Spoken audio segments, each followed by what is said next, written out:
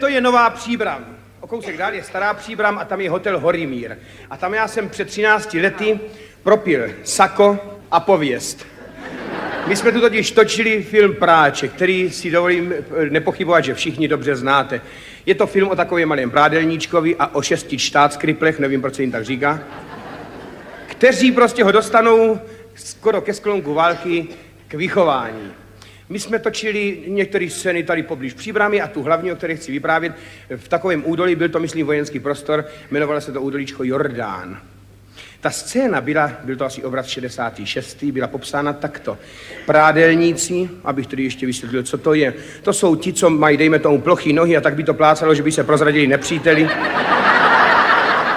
tak nejdou v první línii, jdou vzadu a za to, že kamarádi střílej, tak oni jim perou podvlíkačky, košilky a takovýhle prostě ty věci, bez kterých se pořádný mužský neobejde. Když říkám podvlíkačky, myslím je hrozný. No tak my jsme šli a dostali jsme toho chlapička, který ho někde osvobodili v nějakým koncentráku. On mluvil česky, tak ho dali k Čechům a protože v těch prvních liniích neměli čas se zabývat tím chlapcem, tak ho dali těm brádelníčkům, tedy nám, aby mu byli do konce války matkou i otcem.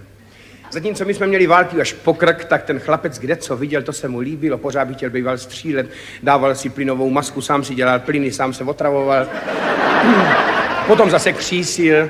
A jednou si tak vyšel někam do lesa, kousek od té eh, divizní prádelny. My jsme právě stali u takového nějakého srubu, u kterého jsme měli ty necky, rozumíte dobře, necky.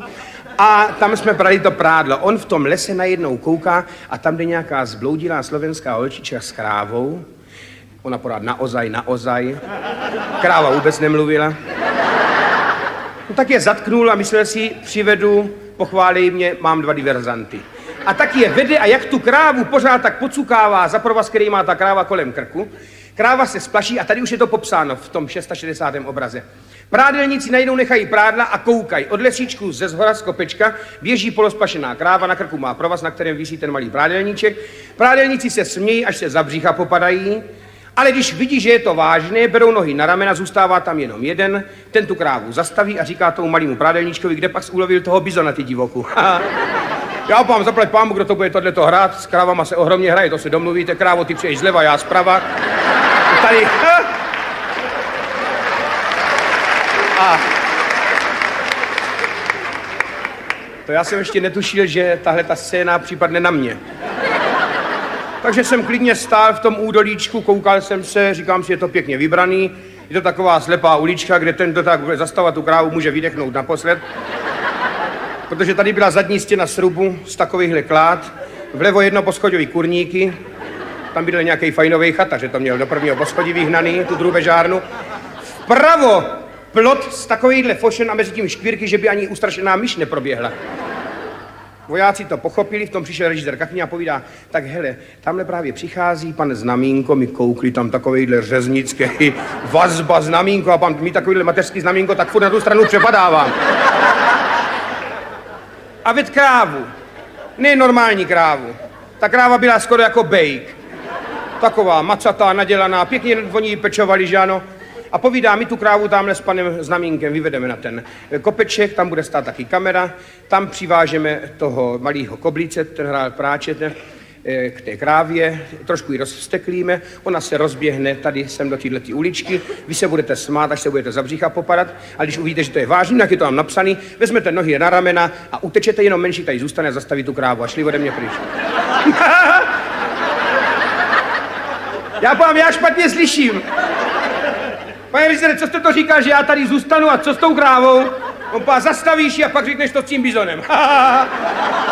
já vám, kdo to slyšel, já jsem v životě nezastavoval krávu. Jak bych to udělal? I ta kráva, to je nějaká hmota. Když to bude řídit, tak říkáte, že to rozsteklíte. Já to i přesně, on pá, četří scénář, já pám pečlivě. Mám ho i počketaný barevnýma tuškama. Ale tohle to, že s tou krávou ausgerechnet já a on povídá, četci scénář, zaplacení to dostaneš, tak ji budeš zastavovat. Já povídám, ale kde jsem si to mohl naskoušet? Já jsem ze zelinářství, my měli spoustu takovýchhle okurek, ale krávy žádný.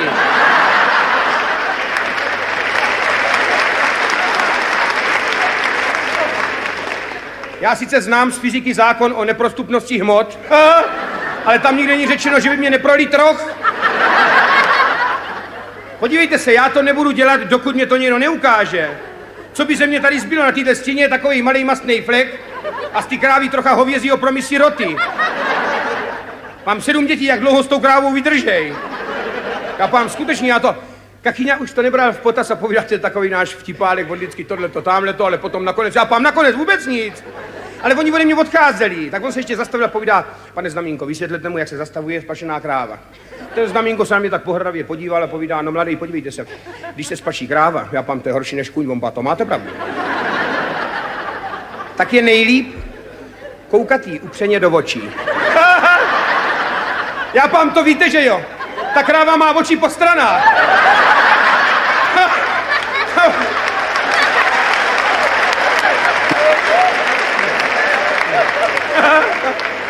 To bych musel mít ještě asistenta na dva upřený pohledy. A nebo tu krávu obíhat. No. A kolikrát bych jí oběh, než mi mě narazila na tuhle tu stěnu, pojám, to neplatí a on pán, nechte mě mladý domluvit. Jednak jsem starší a potom, podívejte se, je pravda, máme zkušenosti, někdy ta kráva nereaguje a pán, no to by bylo právě dneska asi. On pán, v tom případě ji bereme za rohy a skroutíme jí hlavu některý z předních nohou. Já byl tenkrát takový štíhlounkej, takový holkama vyhledávaný. Já povídám, s touhle postavičkou já můžu kroutit krávy. To můžete vy, který máte svalí z ocele. A ještě takovýhle jméno. No, já nemůžu jít takovýhle, ale oni už zase odcházeli a pám, já tu krávu stavět nebudu. Až to uvidím, že to skutečně jde. Nikdo mě nebral v potaz. Víte, šli na ten kopeček, tam co s tou krávou udělali, to já nevím, jestli dali velkého lomcováka. Ta kráva se rozběhla, samozřejmě na zkoušku ji na ten krk přivázali jen takovej pytel, o to lehčej ta kráva běžela. Já tam stál, vojáci daleko dřív brali nohy na ramena, já tam byl sám, jen tam se zadu se vozíval asi z pěti hrdel. Koukej jí do očí, nejhorší tohle, já jsem si zaspal uši. Jen jsem koukal, jak to hovado si ke mně řídí. A když byla tak asi na 10 metrů, já to nevydržel s nervama hupa, už jsem byl v tom kurníku. V prvním poschodí, to jako v divadle. Kráva téměř zabodnutá do srubu. Oni na mě křičeli, já na ně taky a pám, já nevím, jak to vypadá tam z toho kopečka, ale odtud je to hrozný. To je tak na široký film, ale hodně široký, abych mohl utíct do toho, do té kantny nebo té kantny, ale tady já stát nebudu. Když viděli, že z toho kurníku mě nikdo nedostane, i za cenu, že se vzdám honoráře, tak ten kachyňa se takhle rozhlíd a protože nejvíc na mě křičel do očí a za rohy, takový bledoučkej asistent Toms, tak povídá, Toms, jděte mu to ukázat. ten zbled ještě víc. A povídá, ale pane režisére, já přece, on povídá, co přece, on pá, já jsem tady přece od toho, abych řídil druhý plán, jako to, co je v dálce, víte tohle, aby slunce správně zašlo, mraky přešly a to. On pá, tak vás povyšu na první plán, běžte mu to ukázat. A ten Tom zbledej šel k tomu srubu a povídá, no kvůli tomu, já jsem študoval vysokou školu, abych tady teď stavil krávy. Maminka furt povídá, půjdeš k filmu, je to fajnový zaměstnání a ty co mě tady, já pám, ale radit jste uměl, víte. On pá, já jsem nevěděl, já jsem pá, jsem taky nevěděl, jen se hezky postavte, hlavně koukejte jí do očí, ale to už ta kráva běžela. Já pám, koukáte jí do očí, on pá, mě se udělal snačený zákal.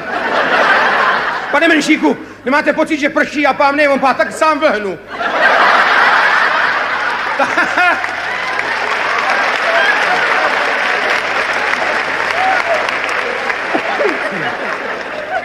Kráva to rvala, prostě tráva lítala. Po, povídá, prosím vás, já mám na to a pan, dejte mi ruku, hup, a už jsme byli dva v kurníku. Kompa, tady je to prýma. A koukám, je tady plno vajec. Já pán, to je země strachem.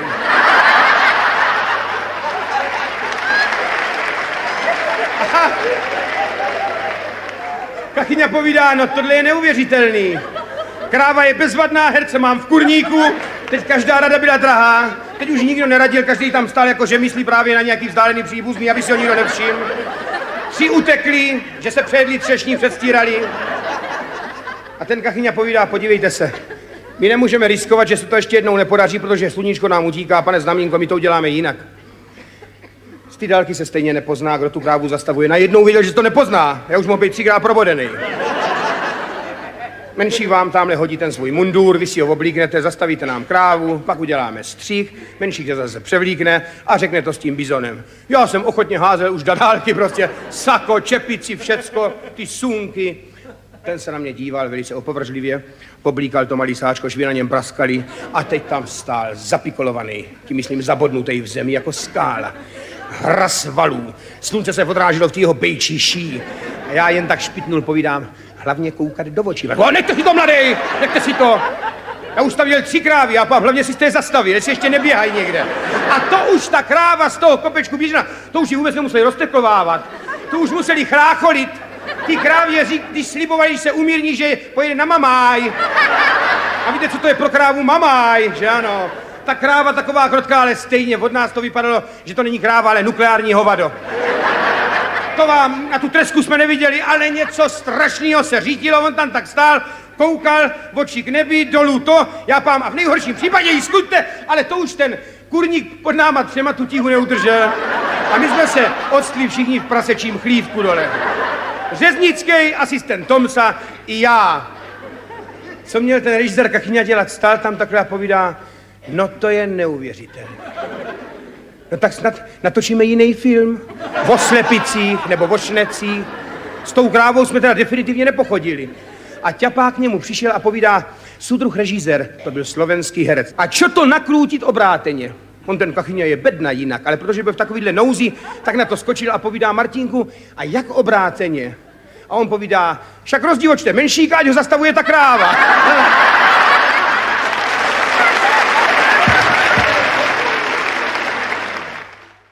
Dobrý večer. Já se musím předem omluvit, že nebudu dělat pro sebe tak typická rozmáchlá gesta, protože se mi stala taková věc, že když udělám rozmáchlejší gesto, tak se mi nevrací sako. A to jsem zhubnul. Bylo to horší. Já tam to sako ani nedostal jednu dobu. Na to, aby se vrátilo. Ale to je, tomu se říká obezita nevinných. Já už jsem se tak narodil. Říkala kdysi nebožka paní Šajnflugová Olinka Bohouškovi Záhorskýmu, svýmu kolegovi. Povídá Bohušku, čím to je, že když tě pozoru, tak buď jíš, nebo o jídle mluvíš, nebo na žrádlo myslíš. A seš furt jako lund. Co já se natrápím, co já si navymýšlím, jídel, aby byla výživná, vydatná a abych nepřibírala. A podívej se na mě. Ale je v tom něco nespravedlivého. Jestli já, když jím, tak se do mě dostává falešný vzduch, povídala. Protože já jsem jednou udělal takový pokus, že jsem po koupání v lehkém, odváženém župánku vstoupila na váhu, ta ukázala 60 kg. Vzala jsem z blízkého stolečku předem odváženého buřta, který měl 5 deka, váha ukázala 60 kg a 5 deka. Na váze jsem buřt snědla, váha ukázala 63. To je můj případ. Já říkám, já jsem trošku zhubnul, pač jsem byl hospitalizován. To nemá s hospodou nic společného. I když já jsem si to taky původně myslel. Já jsem až zajásal, když lékař říkal, budete hospitalizován, já jsem pá, no ale já už jsem dlouho nepil, abych to ještě uměl. no, tak jsem takový trošičku nesvůj. A hlavně se koukám, je tu někde pan Efa? Tak je to v pořádku.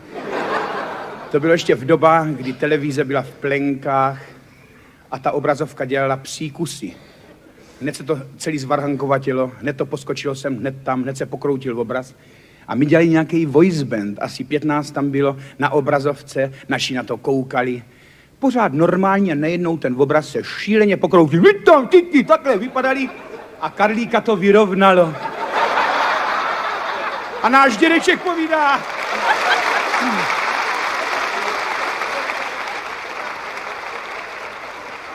Náš děda povídá, deklamujou všichni pěkně, ale jaký ten Efa je fešák.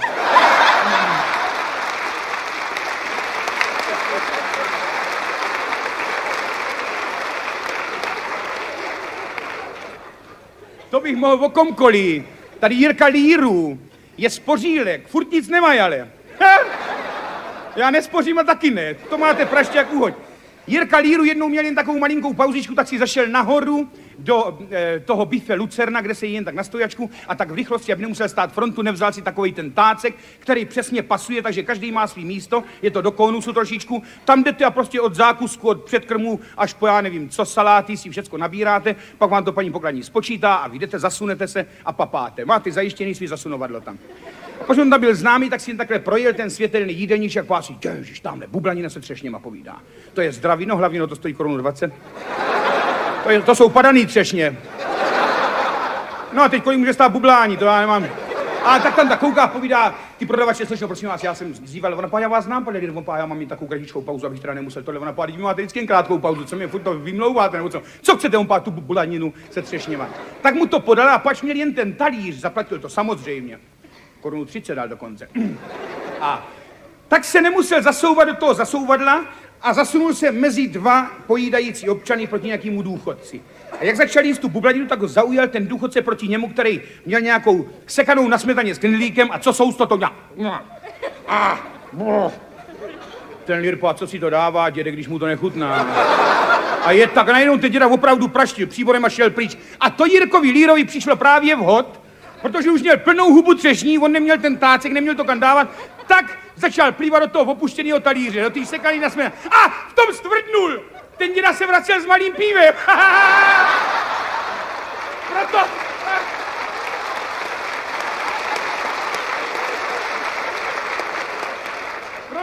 Proto mu to nelezlo a šklebil se, protože neměl čím zapíjet. A tak zase pro změnu lírhonem zahodil, přestože mu to chutnalo, ten svůj příbor a koukal nešťastně přes výkladní skříň, jak ten dědek se nestačí divit, že má vsekaný pesky třešní. Ha! Jirka Sováku, to je zas takový, to je vlastně takový náš první černý humorista. Ha! No a tak prostě ten Sovák tam startoval, měl Zetku, 14, myslím, že to byla u Barandova, teď abych já nemusel čekat na ten produkční nějaký vůz, tak utíkám pán Jirko, prosím tě, já potřebuji na představení vůz nikde, mohl bys mě svíst dopravy, on pá, tebe? Kdybys nechlastal, tak už mohl mít dva takovýhle vozy.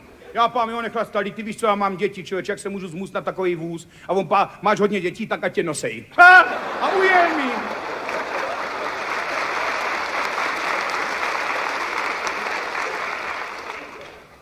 A dneska už černý humor to už normálně frčí. Tatínek Petra Kostky ležel ve špitále a leželi na pokoji asi sedm pacientů. Leželi, povídali si, když se otevřeli dveře a tam zřízenec vezl nového pacienta, nějakého dědečka, který křičel a už je konec, povídá, co s tebou bude žovka? Člověk si pořídí na starý kole na mladou ženu. Podívej, kam mě šouplí. Na desítku sem dávají ty, kterým už není pomocí. Do prdele, to je nespravedlivé.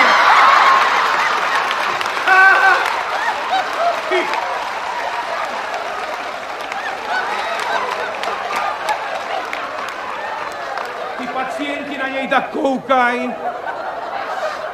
Začnou z toho bobtnat, rudnout.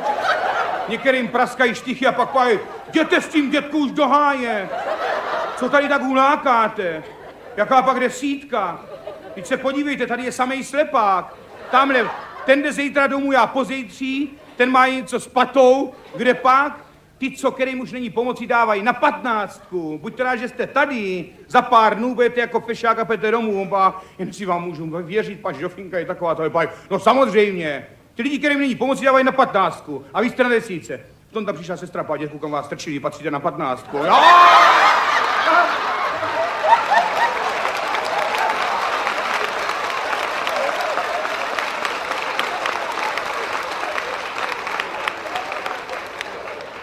Ovšem trošku černý humor, o tom já jsem nechtěl. no ale já jsem tady kvůli ně... Já jsem tady kvůli něčemu jinému. Já tady mám vyprávět, jak jsem se dopracoval k tomuto postavení. Začít tak někdy od první třídy. Celá naše rodina e, pytlačila, u nás byly hluboký lesy ale skoro žádná zvěř, takže jsme se skoro vystříleli. Můj dědeček se na pytlačení potom vykašlal a stal se písmákem. Naučil se psát a stal se písmákem. Ne, že mě chtěl pytlačit, ale jemu se normálně zasek náboj v laufu, na novou flintu nebylo, tak se stal písmákem. No takže po to jako by nešlo, ale já jsem hned od první třídy začal mít, nevím proč, dvojky z mravů. To se vám směje. Jenomže já měl velice steplý otce a ten jenom jsem přišel domů, řekl z mravu, já řekl dvě a už tě řezal. Já mám taky největší svaly na prdelce.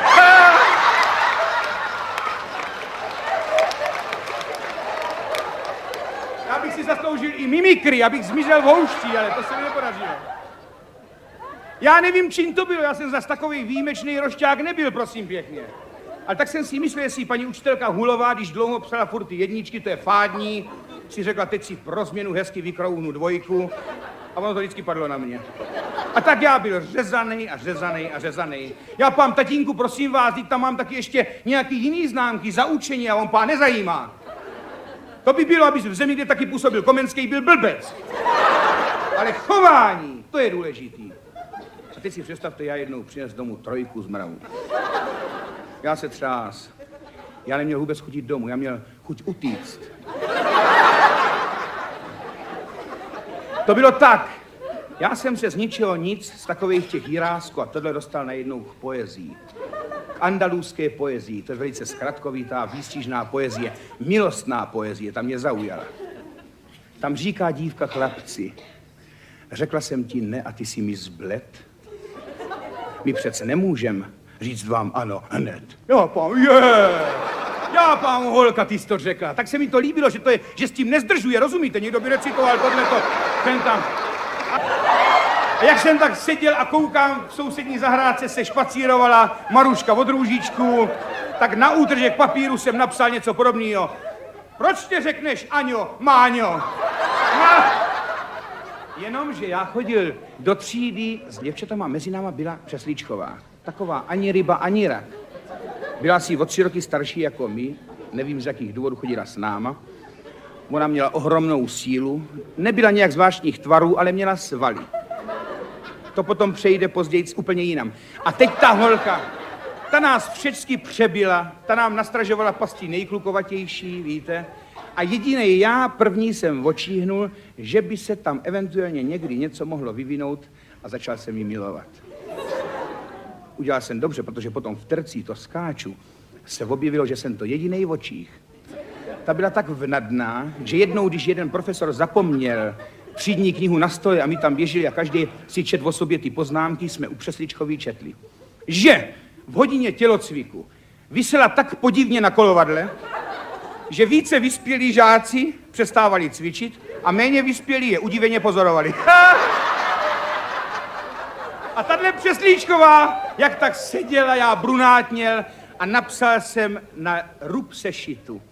Ty hezký holky jako ptáci jsou, přiletnou jarem, létem odlétnou a srdce moje pláče, naříká.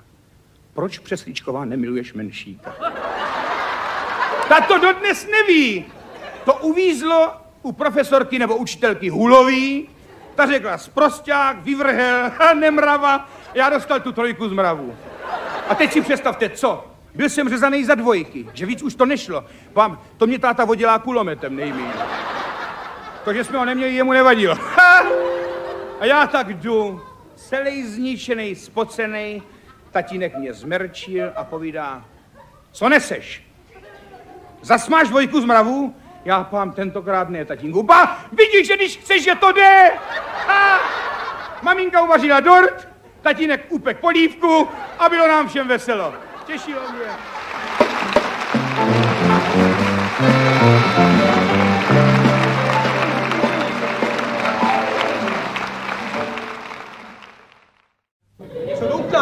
Tady něco ho, ho, tady něco hoří. Božka! Božka! Božka, že ty si zase něco připálila. Emile, hoří nám v pokoji. Tak, tak to nekříš, ať nás nerozkecaj, běž rychle. Hele, holka, vynes sportku děti a zatím na to ničím stříkej, jo, já zavolám o pomoc. No, kde pak ženská a přírodní katastrofa. Hej, cákej na to nějakou vodu, jo, nějakou tekutinu. No, zavoláme koho? Kdo by takhle mohl mít tohleto? Zavoláme Tondu, Tondovi Boučkovi, no jo. He. Cákáš na to, cákej. No. Těmu to... A to je Irenka. Heli, Poučková, je Tonda doma? Co, není? A kdy přijde večer? No, tak to lehneme popelem, to, ni, to nic, nic, nic, nic, nic, to nic. A nebo řekni mu, že hoří, jo, těbu. Hele, kdo by to mohl... No jo, Franta Křížala, kde pak? Ten zná každýho, jenomže já neznám jeho telefonní čí, číslo, tak bych to... Ta... Hele, stříkej na to, stříkáš? Stříkej, bočka, stříkej. Eh, Já zavolám tohleto, eh, informace, no jistě. Hele, kde pak ženský a přírodní katastrofa. A, halo, soudružko, prosím vás, já, prosím, já nezavěšuju. Co, prosím? Totiž nám tady hoří, pro, v jakým pořadí? Helejte, nechte to napřed vysvětlit, jo, podívejte se. Nám tady od něčeho něco tohle to doutne. Ale já pořád nezavěšu, co vidíte pořád? No, nám tady něco doutná, paní tam zatím se. V jakým po... Hej, stříkej a hlavu vzhůru. Holka, nehoříme sami, jsme v pořadí.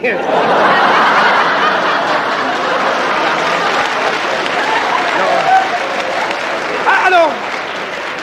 No, teď jsem měl smůl, tak možná teď budu mít šťastnou ruku. Soudružko, prosím vás, helejte, potřeboval bych číslo na vašeho účastníka. No, je to Fran... Halo, soudružko, je to Franta... Prosím, halo. Jak to, že nejste soudružka? Ha, prosím, jo, vy jste soudruh. Mně to bylo nedivný, že máte jako nějaký přiskřípnutý. Já promiňte, já jsem si chtěl vás nějak tohleto. Helejte, mě hoří kvartýr, já bych potřeboval... Prosím? Co jako co, že co lehne popelem nezhníje, no to je hezký, ale který my to stejně chceme měnit, o to nejde, nějak tady přihořívá, víte? Helejte, soudruhu, prosím vás, potřeboval bych účastníka, Františka Křížalu, jo, eh, Praha 4, Kánovnická, prosím, Křížala, Kří, sušená švestka, Tlustý Kánovnická, ano, ano, ano, znamenám si, ano, ano, ano, ano, ano, pamatuju, to je jednoduchý číslo, jo, jo, jo. Tak no, Olga, stříkej, stříkáš tam?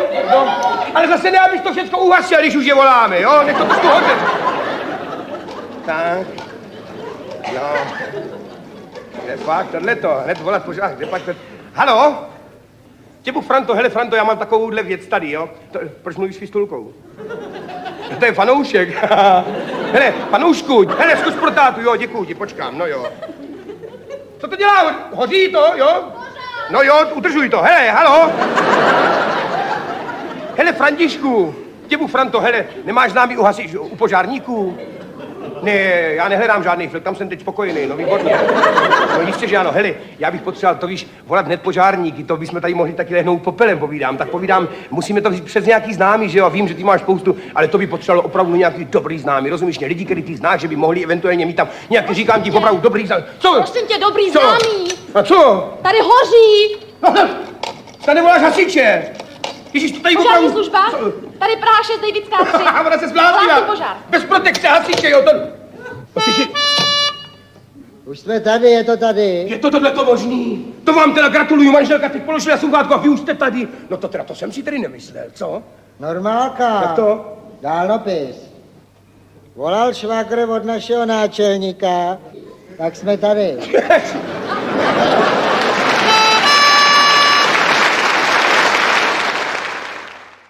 Já mám úkol tentokrát o Silvestra vyprávět a vzpomínat na vojenský časy. My jsme měli u nás v rodině teda vojnu jako spousta lidí se na vojně proslavila. Nejdál to v naší rodině dotáh strýc Ondřej. To byl poručík, ale měl taky smůlu, byl za lstivost degradován. On totiž byl strašně hravej. A on jak kde mohl, tak už na ty svý kamarády důstojníky, hele Franc, to bylo za Rakousko-Uherska, e, vsaď se, že tohle a tohle a tohle. A vždycky to dověd nalíčit tak, že ten dotyčný si řekl, no tohle to přece musím vyhrát, vsadil se a prohrál. Už ho tam měli plný zuby. Už chodili za velitelem, za plukovníkem a říkali, prosím vás, to tady budeme furt živit tohohle toho zlanýho. A on pán, no tak se chlapi nesází, to jim pají, no když to je takový lákavý, to vždycky vypadá tak, jako že to musíme vyhrát a on prohrál. A on pán, no to právě znám, nemáte to dělat, že jo. Jenomže přece jen i míra trpělivosti toho jejich velitele, toho plukovníka, vypršela, když jednou se sám vsadil v oboru, v který myslel, že je mistr nad mistry. On byl matematik, byl to jeho koníček a rád řešil nevyřešitelné problémy a úkoly a tak dále. A najednou za ním přijde strýc Ondřej a povídá, "Eh, pane plukovníku, vsaďte se, že vám dám takový úkol. Je to velice jednoduchý, ale jde o to logicky to domyslet, který nevyřešíte. Povídá, jdou se vycpat slanej, na mě s tímhle nemůžou. On pá dobře. Vsadíte se? On povídá, no jestli to není nějak, pa, normální, regulární úkol početní. Pa, dobře, o kolik? O stovku? Slanej po, to je málo. Tak o 500. Tak se vsadil. On pá, podívejte se, pane plukovníku. Obchodní cestující si vyřizuje svý věci, v jednom městě ujede mu autobus a v druhém městě má nocleh zajištěný. No tak co, autobus je fuč, tak jde pěšky. Ale v polovině cesty už unavený ještě začne mrholit a uvidí tam samotu, tak tam jde zabouchá na dveře, přijde otevřít nějaký dědeček a ten cesták povídá dědečku, já jsem byl tamhle v tom městě, nocleh mám tam v tom, ujel mi autobus, tak jdu, už skoro na nohy nemůžu, začíná pršet, nemohl bych u vás přespat. A on pá, ale pojďte, jen pojďte dál, právě se chystáme k večeři. No, to je moje manželka, ukázal na babičku, tady hlídáme vnučku, povídá, tak když s náma zasednete k večeři, tak nás bude u stolu akorát 13. Jak to, pane plukovníku? Když tam byl dědeček, babička, vnučka a ten cesták. A když k nám zasednete ke stolu, povídá dědeček, bude nás rovných třináct. Ten povídá, no tak to přece... Kolik bylo ty babičce? On, páno, ne, na tohle nemyslete, tak to není. Páno, že by snad tohle pořád, počkejte, na to musím jinak. Vytáh papír, začal to řešit a počítat. Pak povídá, Hergot, no tak to mám asi prohraný, jak to je? Stric Ondřej povídá, ten dědek byl blbec a neuměl počítat.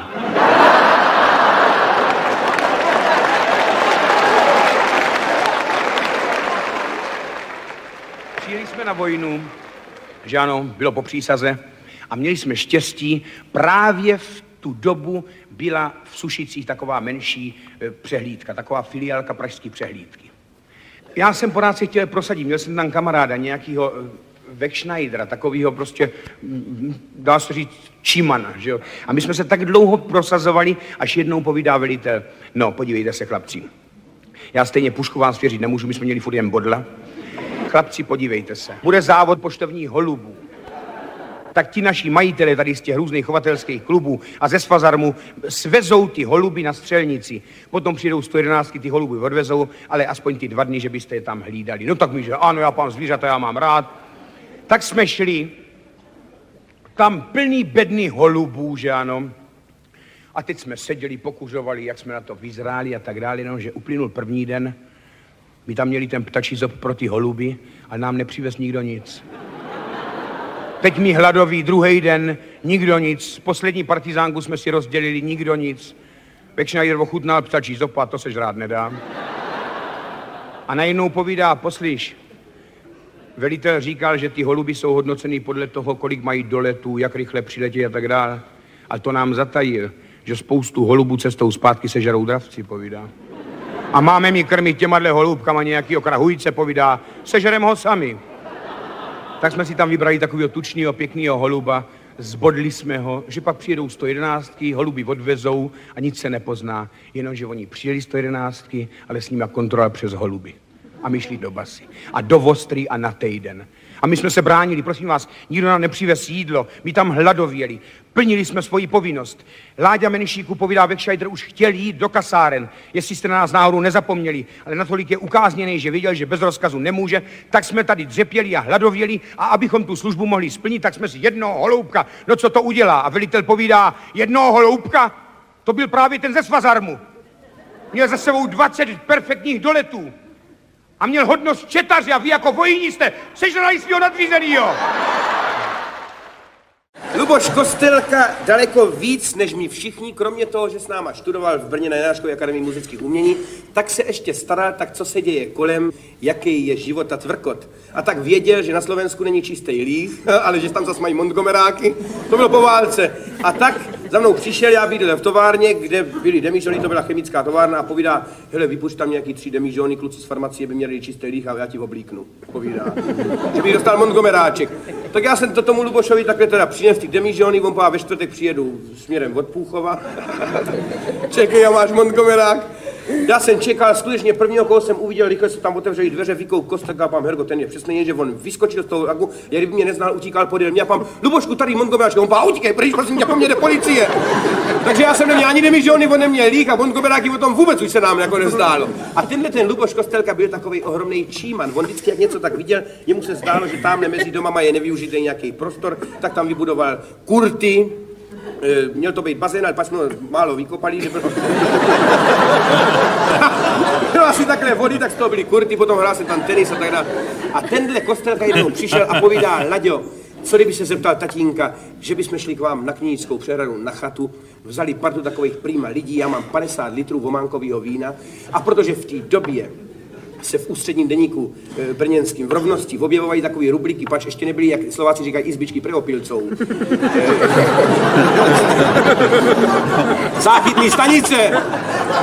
Tak vždycky toho, kdo prostě dělal nějaký virvál, tak vzali, tu fotografii z toho občanského průkazu fotografovali a bylo sdělení v novinách. Pan ten a ten, dejme tomu Adolf Jebavý, jinak řezník a uzenář, v noci zboural tři obrubníky u chodníku a tohle plným jménem na plný pecky prostě. A tohle, tak aby jsme z toho neměli takovýhle nějaký tyhle opovídá, na té přehradě se všechno ztratí. A tak já jsem řekl tatínkovi, ten pán, tak chlapci hlavně, aby se tam nezapálili, že jo.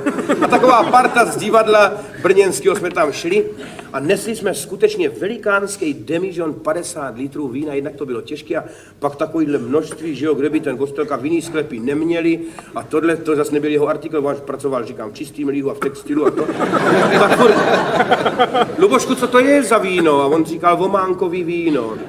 A někdy říkal, jo, vománkový, no jo.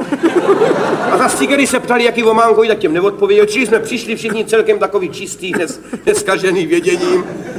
Přišli jsme tak na večer, udělali jsme táboráček takovej, sehnali se v chatě, kde byly od skleničky, že jo. Teď se nalejvalo a teď víno vám to bylo lehké, jak se říká na Moravě, lehké, ale veselé.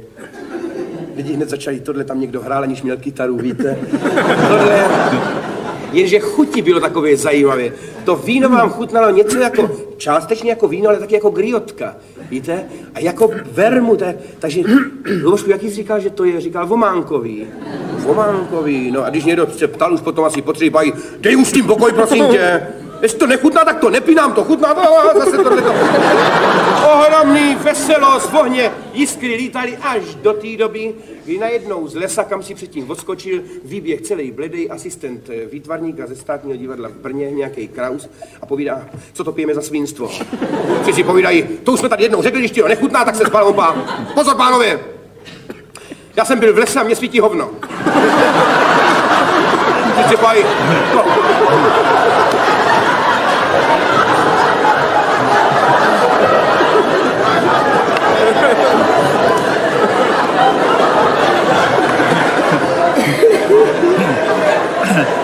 Pa, pojďte se podívat.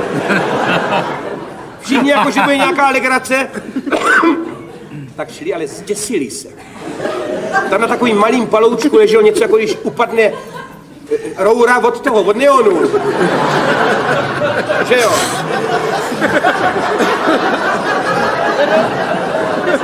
Jako taková od, od, od kostelních hodin na věži fosforesující ručička, víte? Nebo je svěst, svěst světlušek, prostě něco divného. My na to koukali, Paj, jak je to možný? A on povídá, no ať nám řekne kostelka, co to pijeme. Jaký pak roste, když slyšeli vománkový víno? Říkají, to je pravda, jaký prosím tě tohle. A najednou jsme dostali strach, protože v té době probíhají takové různé ty procesy s těma Eisenpoňákama. Co když viděli na cisterně, která stála v nádraží, ty umrlčí hnátí si řekli, no nás, na nás, tím letím umrlčí, čepovali a oslepli a umírali potom, že jo? Tak najednou jsme dostali strach, jestli nepijeme dřevitý líh nebo něco. Pač stejně jsme nemohli poznat, jestli vidíme nebo nevidíme, pač byla tma jako v pytli, že jo? Někdo povídá, Kostelka, co to je za víno? A není to žádná legrace, podívej se na to. A Luboš Kostelka povídá, přísám vám Bohu, ta základní surovina je skutečně víno, ale podívejte se, můj strýc mu to skysalo a protože on je takový, tohle on by to býval vyhodil a protože já žádný sklepy neměl, takovýhle množství vína taky ne, tak mám strýčku, nevyhazuj to, no tak je to bože trošku kyselý, tak tohle to při nějaký příležitosti se to dá a on mi to dal. A naše správcová, která na všecko zná recepty a tak dál, povídá pane Kostelka, do skysaného vína je nejlepší naložit léčivý byliny. Ty jednak tu kyselost stáhnou a nevezme to vínu tu jeho chuť. Nedá to tomu žádnou chuť ze sebe. Víte? Pak to seberete, scedíte a máte víno takový, jaký bylo, než skysalo, že jo? A kostelka pán, jenže já jsem nesehnal nic než vománkový keřík. To je na revma. On do toho narval do toho demižonu a ono mu to zhoustlo, zželatinovalo. Tak zase běžel za farmaceutama a ty mu dali čistý a on to ředil, hned se mu to zdálo moc řídký, tak dal keřík a tohle. A vznikl z toho takovýhle myšmaš pohálený, jinak je to skutečně nezávadný, od dřevitým lihu to nikdy ani neslyšelo. Jenže my už jsme mu nevěřili, protože ten důkaz pravdy tam byl hrozný. Že jo? Světla přibývalo. Někdo povídá, pánové, to chce doktora. Já pám, tady je takovej, ale ne zrovna Lidumil, ten nás vždycky posílá tohle. Já jsem tam ale šepat jsem měl strach i o sebe, že jo, tak jsem šel, zabouchal jsem, tam se ozval, co je zase? Já jsem pá, pane doktore, první pomoc, on pá, jděte s tím někam, já jsem pá, ne, opravdu, první pomoc. Paní doktora pá mě poslal někam tohle, já jsem to neslyšel, protože nám šlo o zdraví. Řekl jsem si, musím něco spolknout, vydržet a bouchal jsem dál, až on se vygonil a pá, co to člověče děláte? Já na vás zavolám policii, já jsem povídal, že o první pomoc. My tam pijeme nějaký víno, o kterým říká majitel, že je vománkový, ale my máme spíš strach, že pijeme nějaký dřevitý lich, protože kamarádovi v lese z toho svítí stolice. Opa, co to povídáte? Z chlastu povídá, mladý můžou svítit jedině v oči. Ale už mu to nedalo, jak slyšel dřevitý lich a bylo, říkám toho tenkrát plno, tak se oblík, dost nadával, ale šel. Co vám to s ním udělal, když přišel na tu mítinku, to nemáte představu. Postavil se, kouk po těch mých kamarádech, kteří tam stali jak funebráci, pač už se jim promítal ten film, jak se loučejí s rodinama, tohle slepý jsem nevidím. Kouk zas na to a povídá, pánovi, to hovno skutečně svítí. Oni povídají, pane doktore, a nepřestává, my tady už také dobře. Půl hodiny to pozorujeme, je to furt lepší a lepší. On šel k tomu blíž a povídá, komu to patří.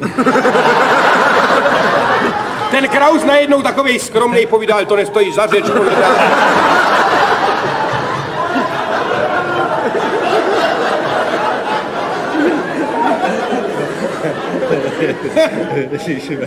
Ten doktor povídá, pojďte sem, mládenče, že vy jste tady o něco zakop.